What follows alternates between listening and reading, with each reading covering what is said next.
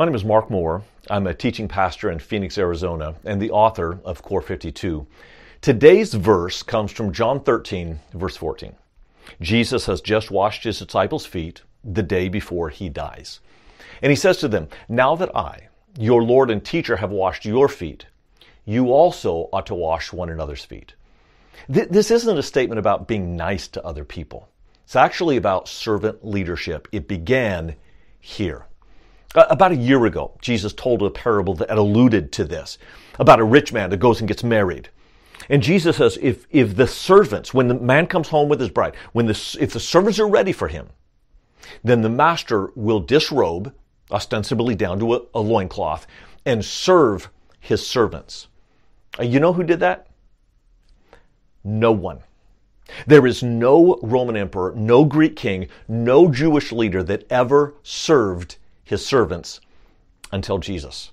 And the next day, he won't just serve them, he will die for them, and not his friends, his enemies. And he says to you and to me, you do the same. We now know that servant leadership is the most effective kind of leadership, whether you're a CEO, a coach, a teacher, or a parent. So today, is there one thing that you could do for one person to carry out Jesus' command of servant leadership?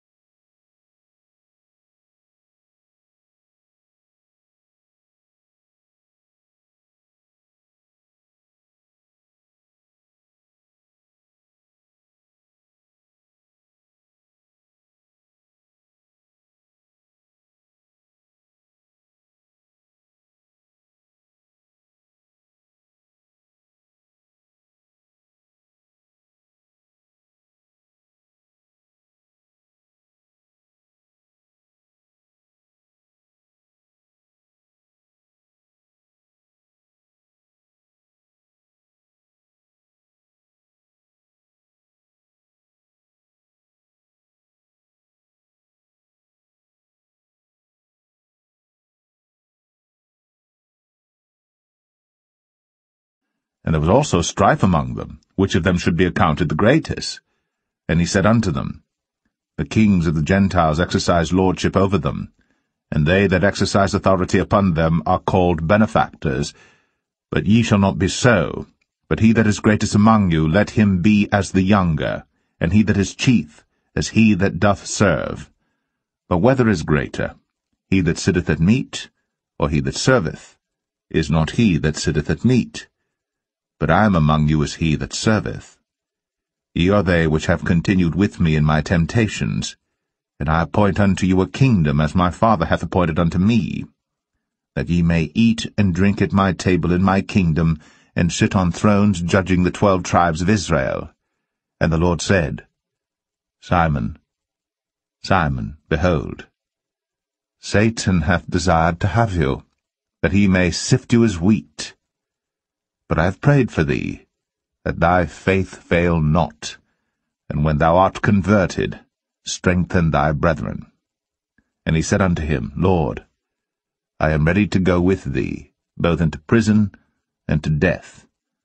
And he said, I tell thee, Peter, the cock shall not crow this day, before that thou shalt thrice deny that thou knowest me. And he said unto them, When I sent you without purse and scrip and shoes, lacked ye anything? And they said, Nothing.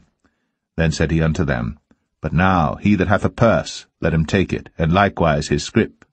And he that hath no sword, let him sell his garment and buy one. But I say unto you, that this that is written must yet be accomplished in me. And he was reckoned among the transgressors, for the things concerning me have an end. And they said, Lord, behold, here are two swords. And he said unto them, It is enough.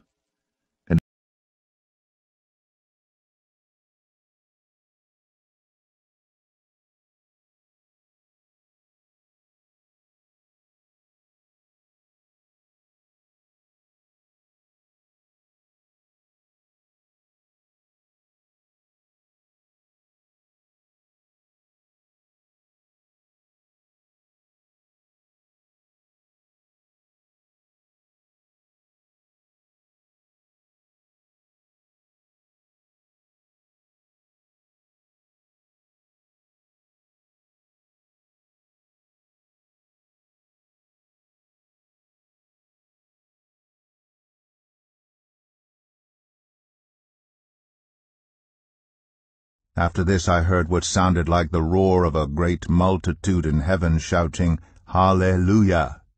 Salvation and glory and power belong to our God. For true and just are his judgments. He has condemned the great prostitute who corrupted the earth by her adulteries. He has avenged on her the blood of his servants. And again they shouted, Hallelujah! The smoke from her goes up for ever and ever. The twenty-four elders and the four living creatures fell down and worshipped God, who was seated on the throne, and they cried, Amen, Hallelujah. Then a voice came from the throne, saying, Praise our God, all you his servants, you who fear him, both great and small.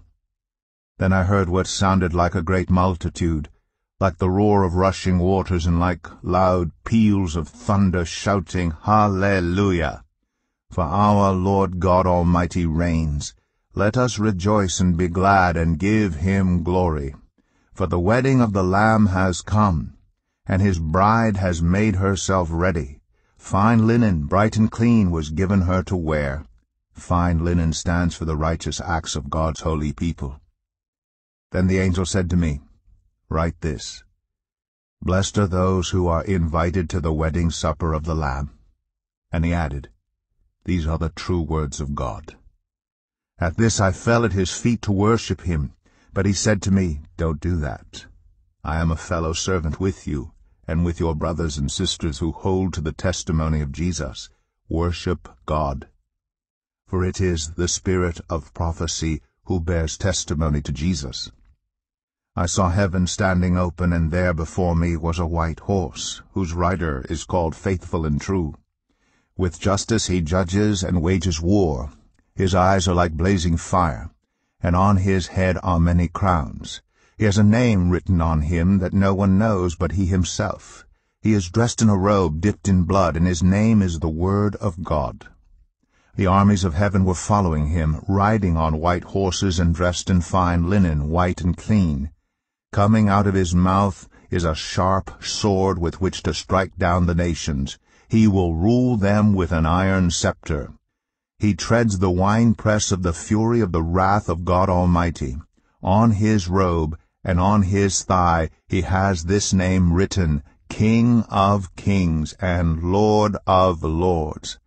And I saw an angel standing in the sun, who cried in a loud voice to all the birds flying in mid-air, Come, gather together for the great supper of God, so that you may eat the flesh of kings, generals, and the mighty, of horses and their riders, and the flesh of all people, free and slave, great and small. Then I saw the beast and the kings of the earth and their armies gathered together to wage war against the rider on the horse and his army. But the beast was captured, and with it the false prophet who had performed the signs on its behalf. With these signs he had deluded those who had received the mark of the beast and worshipped its image. The two of them were thrown alive into the fiery lake of burning sulphur. The rest were killed with the sword coming out of the mouth of the rider on the horse, and all the birds gorged themselves on their flesh.